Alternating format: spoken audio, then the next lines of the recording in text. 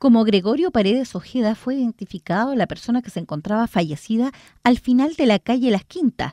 La familia había interpuesto una denuncia por posible desgracia. Al lugar concurrió el fiscal Álvaro Sangüesa y el subcomisario Nelson Contreras. Según información recibida, no existiría intervención de terceras personas.